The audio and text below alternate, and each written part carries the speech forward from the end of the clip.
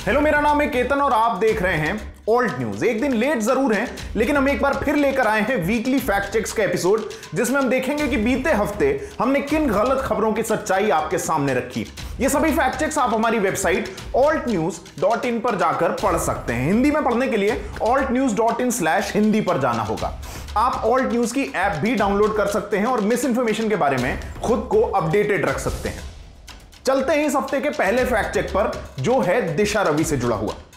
दिशा रवि को 14 फरवरी को दिल्ली पुलिस ने गिरफ़्तार किया था। उन पर किसान प्रदर्शन के समर्थन में शेयर की गई टूल किट एडिट करने का आरोप था।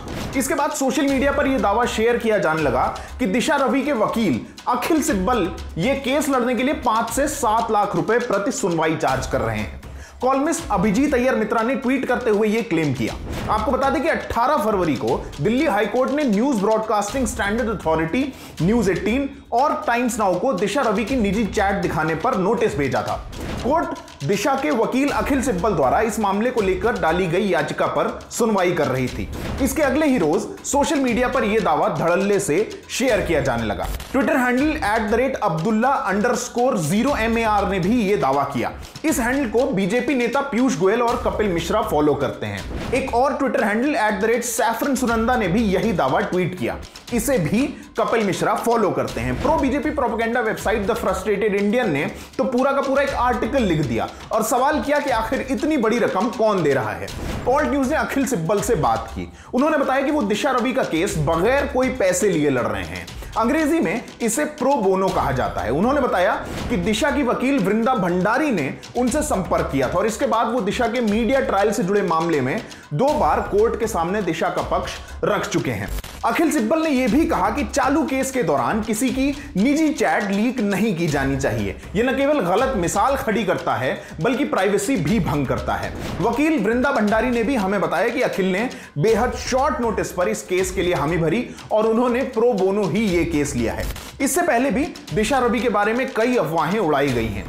टाइम्स नाउ ने तो उन्हें सिंगल मदर तक बता दिया था, जिसके बाद दिशा को लेकर सोशल मीडिया पर बेहद भद्दी बातें कही गई थी। टाइम्स नाउ ने बाद में अपनी रिपोर्ट से बगैर किसी सफ़ाई या खेत जताए, वो हिस्सा हटा दिया था। दिशा रवि के धर्म को लेकर भी तरह तरह की बातें कही गई। 22 साल की इन्वायरमेंट एक्टिविस्ट से जुड़ी तमाम मिस इन्फॉर्मेशन के फैक्ट चेक्स आप हमारी वेबसाइट पर जाकर डिटेल में पढ़ सकते हैं। हम चलते हैं अगले फैक्ट चेक की तरफ़, जिसके केंद्र में है रामदेव की पतंजलि की दवा, कोरोनिल। 19 फरवरी को एक खबर सामने आई। बताया जाने लगा कि विश्व स्वास्थ्य संगठन यानी डब्ल्यू ने पतंजलि की कोरोनिल को कोरोना वायरस के इलाज के लिए अप्रूवल दे दिया। न्यूज़ नेशन की एक रिपोर्ट में ऐसा ही कुछ बताया गया था। पतंजलि के संस्थापक रामदेव का दीपक चौरसिया ने इंटरव्यू लिया। आप पहले तो भूमिका बनाते हुए दीपक चौरसिया की बातें सुनिए। दोस्तों, मैं हूँ दीपक चौरसिया और आज बाबा रामदेव ने यह सिद्ध कर दिया है कि जो वो कहते हैं, वो वो करते हैं। उन्होंने कोरोनिल के बारे में बात कही थी तब इस बात पर बड़ा विवाद उठा था कि उनकी कोरोनिल किट क्या वाकई कोरोना का कारगर इलाज है? लेकिन आज इस पर डब्ल्यू की सहमति मिल चुकी है। इसके जवाब में रामदेव ने क्या कहा ये देखिए। हमने डीसीजीआई से परमिशन ली। डब्ल्यू के जो है पूरे के पूरे एक टीम आई हमारे और उसने डेढ़ सौ से ज़्यादा देशों में हमने अब कोरोनिल से लेकर के सौ से ज़्यादा जो हमारी गिलोय घनवटी से लेकर आंवला एलोवेरा से लेकर के तमाम तरह के च्यवनप्राश से लेकर के वो प्रोडक्ट जो हम यहाँ पर साइंटिफिक रिसर्च और एविडेंस के साथ बनाते हैं उनकी परमिशन दे दी है। न्यूज़ 18 के एंकर किशोर अजवानी ने भी रामदेव की प्रशंसा की और कह दिया कि कोरोनिल को डब्ल्यूएचओ की मंजूरी मिल गई है। डब्ल्यूएचओ से कोरोना कोरोना की दवा, अब दवा कह सकते हैं जिसको कोरोनिल, पर मोहर लगने के बाद खुद हमारे साथ हैं स्वामी रामदेव और आचार्य बालकृष्ण जी। एशिया नेट न्यूज़ ने लिखा कि कोरोनिल अब डब्ल्यू एच सर्टिफाइड है। बीजेपी प्रवक्ता संजू वर्मा ने ट्वीट किया और कहा कि पतंजलि कोरोनिल को डीसीजीआई और डब्ल्यू का अप्रूवल मिलना नरेंद्र मोदी की सफलता है।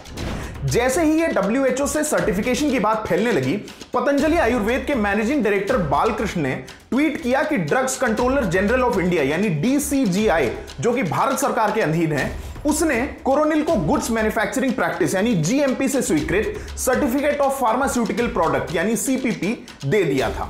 एक और ट्वीट में उन्होंने बताया कि CPP licence WHO GMP quality approval के अनुरूप ही दिया गया है। पतंजलि ने बताया कि कोरोनिल को central drug standard control organisation के आयुष सेक्शन की तरफ़ से डब्ल्यूएचओ सर्टिफिकेशन स्कीम के तहत सर्टिफिकेट ऑफ़ फार्मास्यूटिकल प्रोडक्ट यानी सीपीपी मिला है। यह भी मालूम पड़ा कि पेश किए गए डेटा के आधार पर आयुष मिनिस्ट्री ने कोरोनिल टैबलेट को बतौर कोविड 19 में सहायक उपाय या कहें कि सपोर्टिंग मेजर चिन्हित किया है। आपको मामला थोड़ा कॉम्प्लिकेटेड लग रहा होगा। इसे मैं आसान शब्दों में समझाने की कोशिश करता हूँ। डब्ल्यूएचओ सर्टिफिकेशन स्कीम डब्ल्यूएचओ ने अपने सदस्य देशों के बीच दवाओं के लेन देन की सुविधा के लिए शुरू की थी। इसमें होता यह है कि अगर कोई कंपनी कोरोनिल इंपोर्ट करना चाहती है तो वो पतंजलि के पास जाएगी और उससे कहेगी कि डीसीजीआई ने कोरोनिल को लेकर जो सीपीपी जारी किया है, वो दे दे। अगर पतंजलि वो सीपीपी दे देगी तो दवा इंपोर्ट की जा सकेगी। अब मामला यह है कि पतंजलि के पास सीपीपी तो है, लेकिन इसे इश्यू किए जाने में डब्ल्यूएचओ का कोई रोल होता ही नहीं है। तो आखिर किस बिना पर यह कहा जाने लगा कि कोरोनिल को डब्ल्यूएचओ की मंजूरी मिल गई है? संयुक्त राष्ट्र संगठन ने साफ़ शब्दों में कहा है कि उसके प्रतीक चिन्ह का इस्तेमाल किया जाना गैर कानूनी है। यहाँ पतंजलि लगातार डब्ल्यूएचओ का नाम ले रही है। आप इस मामले पर ऑल्ट न्यूज़ के साथ ही पूजा चौधरी की detailed report Alt News dot in पर जाकर पढ़ सकते हैं। अब चलेंगे अगले फैक्ट की तरफ़, जो है भारतीय सेना से जुड़ा हुआ। पूर्वी लद्दाख में एलएसी पर 9 महीने दोनों देशों की सेनाओं के बीच तनातनी के बाद फरवरी के दूसरे महीने में चीनी सेना के पीछे हटने की खबरें आई। सोशल मीडिया पर भारतीय सेना द्वारा रिलीज़ किए गए इस वीडियो के इर्द गिर्द ही एक वीडियो शेयर किया जा रहा था। इसमें वर्दीधारी आदमियों को पहाड़ी इलाके में जेसीबी मशीनों के साथ देखा जा सकता है। Twitter handle at the rate Shrish underscore one nine eight seven ने यह वीडियो जिस कैप्शन के साथ शेयर किया उसके मुताबिक जब 150 चीनी टैंक और 500 चीनी सैनिक इलाका खाली करके गए तो भारतीय सेना ने उनके बंकर उखाड़े।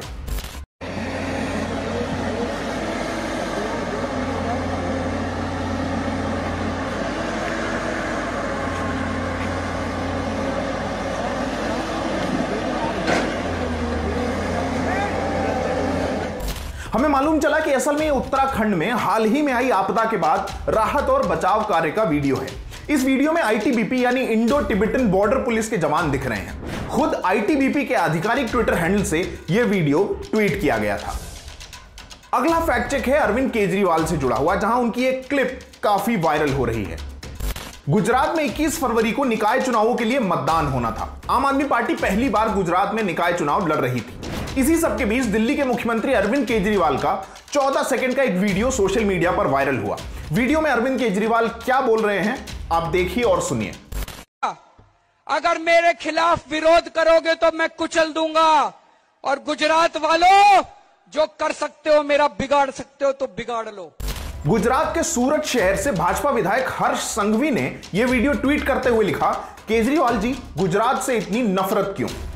फेसबुक पेज शिफू जी ने यह वीडियो पोस्ट करते हुए इसे 2002 का बताया है। उनके पोस्ट के मुताबिक यह वीडियो अरविंद केजरीवाल की गुजरात से नफरत दिखाता है। हर्ष संघवी के ट्वीट पर रिप्लाई करते हुए आम आदमी पार्टी गुजरात ने वायरल वीडियो के साथ मूल वीडियो ट्वीट किया।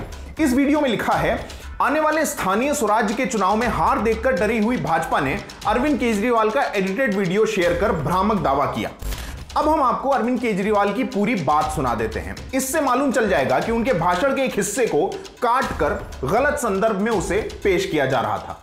आनंदीबेन पटेल, कुछ चीज़ें उनकी मानती नहीं थी। तो उन्होंने उसको बदल के विजय रूपानी ले आए। अब विजय रूपानी तो बताते हैं पूरा उनका ठप्पा है। जो अमित शाह कहते हैं विजय रूपानी वही करता है।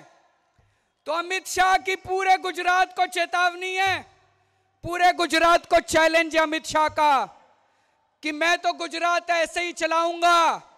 अगर मेरे खिलाफ विरोध करोगे तो मैं कुचल दूँगा। और गुजरात वालों जो कर सकते हो, मेरा बिगाड़ सकते हो तो बिगाड़ लो। तो ये थे इस बार के बीते हफ़्ते के टॉप फैक्ट चेक्स इन सभी फैक्ट चेक्स के बारे में या और भी गलत जानकारियों दावों की सच्चाई जानने के लिए आप हमारी website Alt News dot in slash Hindi पर जा सकते हैं। अंग्रेज़ी में पढ़ने के लिए ऑल्ट न्यूज़ डॉट इन ही काफ़ी होगा। वीडियो के फॉर्म में इन फैक्ट चेक्स को पाने के लिए, जैसे कि आप अभी देख रहे हैं सब्सक्राइब करें ऑल्ट न्यूज़ के यूट्यूब चैनल को। और वीडियो को दूसरों के साथ शेयर ज़रूर करें। लोगों तक पहुँचने में यह हमारी मदद करेगा। और साथ ही मिस इन्फॉर्मेशन के खिलाफ इस लड़ाई में हम और मज़बूत हो सकेंगे। मेरा नाम है केतन और ऑल्ट न्यूज़ में अपना भरोसा यूँ ही दिखाते रहें। आपका भरोसा, हमारी ताकत। शुक्रिया।